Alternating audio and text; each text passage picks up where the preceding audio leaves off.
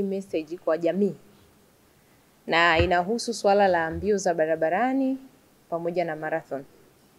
Kwa siku za hivi karibuni kumekuwa na ongezeko kubwa la uandaaji wa marathon pamoja na mbio nyingine za barabarani.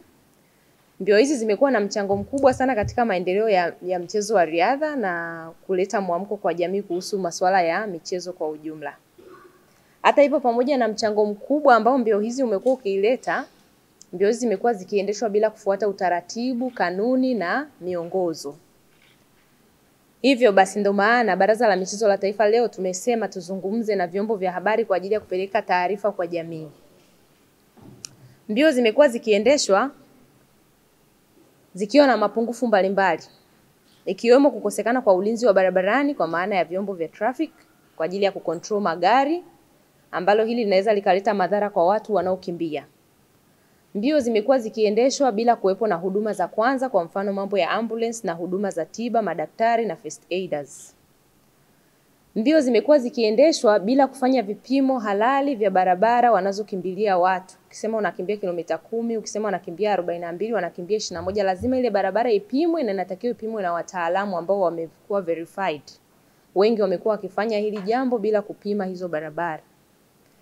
Lakini pia mbio inatakiwa wakati ina, inakimbiwa kunatakiwa kuwe kuna kuna spots zinazoonyesha kwamba huyu mtu kweli kapita maeneo haya na kunatakiwa kuwe kuna wataalamu wanaoangalia kwamba hizo spots zimepitiwa. Kwa wenzetu walio advance unakuta kuna mashine inasoma kwamba umepita hapa, umepita hapa, umepita hapa.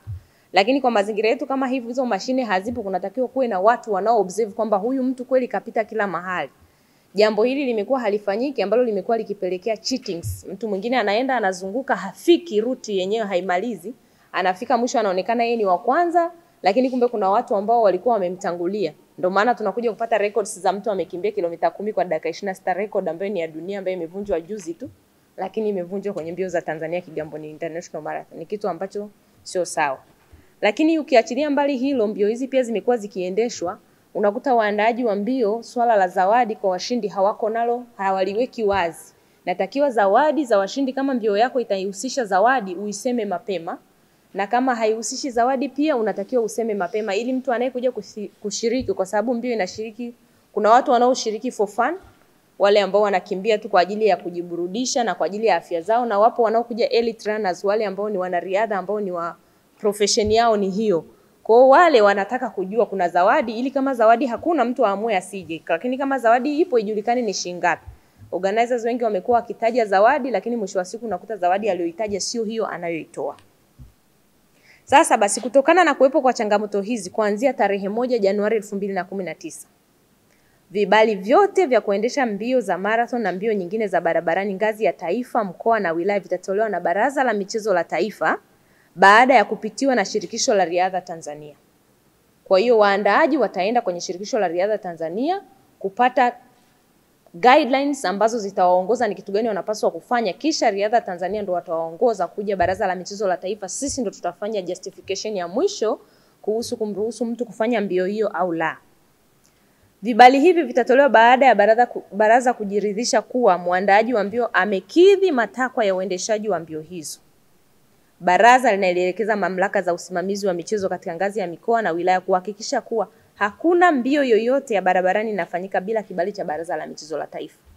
Mamlaka za serikali za mitaa, mikoa pamoja na halmashauri za wilaya ni wasimamizi wa michezo katika ngazi zao. Kuna kamati za michezo za mikoa na za wilaya, na vibali mara nyingi vya kufanyika matamasha, michezo na mbio na michezo ya kila aina huwa inatolewa katika ngazi za serikali za mitaa. Kwa hiyo tunazielekeza mamlaka hizo zisitoe vibali hivyo bila kuona kama mtu huyo ameruhusiwa na Baraza la Michezo la Taifa.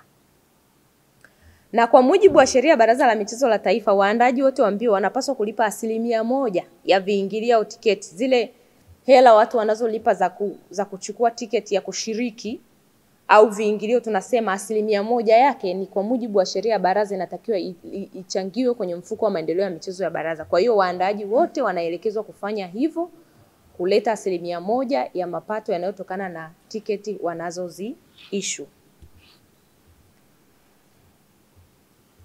Kufuatia mambo haya ambayo yamekuwa yakitokea ya, ya kuvunja taratibu, kanuni na sheria, kumekuwa na malalamiko mengi sana, na lalamiko kubwa zaidi lilitokea kwenye Kigamboni International Marathon ambayo ilifanyika tarehe moja mwezi wa kumi na mbili na malalamiko haya yalienda mbali, yametoka kwa wadau na wakimbiaji wa, wa na watu mbalimbali. Kutokana na malalamiko hayo,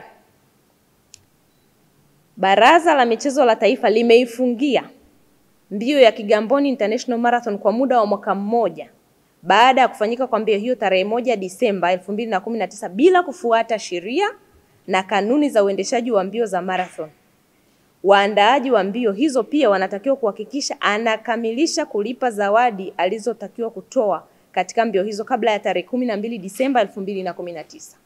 Mbio ya Kigamboni International Marathon ilikuwa na malalamiko mengi mengi ya kuto kufuata kanuni, taratibu na sheria zilizopo za kuendesha marathon. Hivyo malalamiko haya yamekuwa mengi, yametufikia. Tumekaa kikao cha pamoja kati ya sisi waandaaji wenyewe wa Kigamboni Marathon pamoja na chama cha riadha, tumelidadavua na idara ya maendeleo ya michezo. Tumekuja na maamuzi hayo kwamba hawataruhusiwa kuendesha mbio hizo kwa muda wa mwaka mmoja, wajipange kwanza, na kisha baada ya kujipanga kwao watatakiwa wajiridhishe kwetu sisi kwamba sasa wametosha, wanaweza wakafanya mbio hizo, na hiyo itakuwa ni wito kwa watu wengine wote wanaotarajia kuandaa mbio hizo na ninatoa wito kwa chama cha riadha Tanzania, naomba mkawaelimishe waandaaji wote wa mbio kwamba hakuna mtu anayeruhusiwa kuandaa mbio kama hajasajiliwa na Baraza la Michezo la Taifa. Lazima wapate usajili wa Baraza la Michezo la Taifa na wafuate guidelines ambazo zimewekwa kwa ajili ya uandaaji wa mbio. Lengo la Baraza la Michezo la Taifa ni kuona michezo inaendelea, lakini michezo hii haiwezi kuendelea katika uholela. Michezo ni taaluma inayofuata weledi na watu wenye weledi wapo. Kwa ni lazima tufike mahali tufanye mambo haya kwa kufuata taratibu ili tuonekane tumeitendea haki ile profession ya michezo. Kwa sababu watu wengi tunachukulia kwamba michezo kama michezo ni kitu cha kucheza cheza tu mtu yeyote anaweza kukifanya. Haiko hivyo. Michezo ni taaluma na inatakiwa ifuate weledi. Kwa hiyo tunaomba sana watu wote wanaopenda kujihusisha na michezo, tunajua wana nia njema sana, lakini tuifanye katika standard ambayo inakubalika, ambayo imepitia viwango vilivyo vilivyowekwa. Asanteni sana.